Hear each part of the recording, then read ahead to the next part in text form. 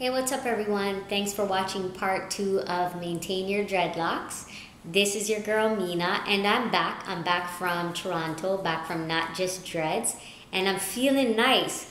Uh, my maintenance is done as you can see. All my fuzzies are gone, my roots are tightened, my roots are separated and my hair just looks really neat. It is a little bit sore right now just because of the pulling sensation when you get them tightened, but that goes away in about an hour. It is not nearly as bad as getting your hair interlocked. I used to do interlock way back in the day.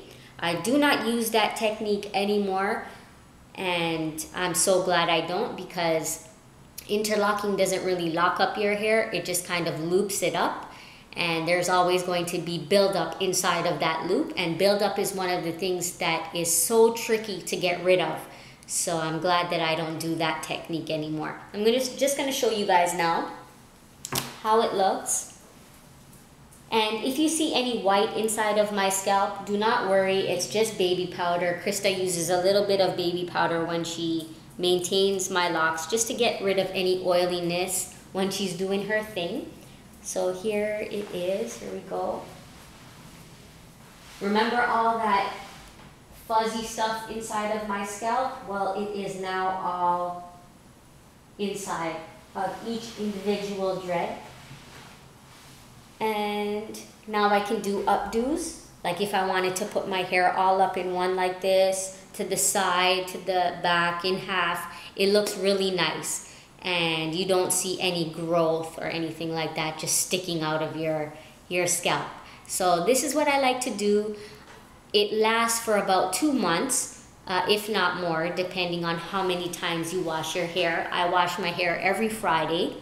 So I tend to get maintenance uh, more often than others other clients uh, do. Karen and Krista usually see me the most because I always like to look nice and neat and if I have photo shoots or events coming up I always like to get an appointment booked in so I can look good.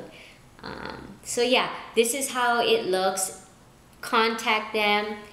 It's a bonus for you if you're out here in the city. If not hey and you got the bread just uh, hit them up all right it was nice oh, check out my other video. I um, put out a video out there for the city, um, my journey on my way to Not Just Dreads. You'll see the Gardiner Expressway, you'll see CN Tower, and so check that video out too.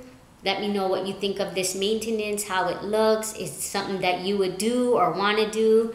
Um, all right, any questions, let me know. Remember, peace and love. Stay safe, be good.